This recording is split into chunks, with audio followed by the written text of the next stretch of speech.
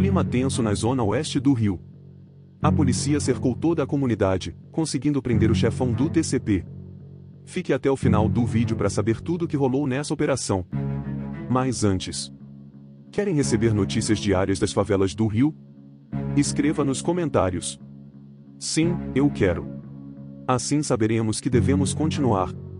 Nesta terça-feira houve um cerco grande contra o tráfico dentro da Vila Aliança, TCP, em Bangu, na zona oeste do Rio de Janeiro. Após a morte de um policial do 14º BPM, em Bangu, próximo à comunidade do Santo André, TCP, em Bangu, houve um grande cerco na região para dar resposta ao tráfico do terceiro Comando Puro. Os policiais da DRE cercaram a casa que estava escondido Rafael Alves, conhecido como Peixe ou Flamengo, apontado como dono da Vila Aliança. A casa estava com poucos homens fazendo a segurança do peixe, e houve um confronto com os agentes da Core, baleado um dos seguranças do peixe.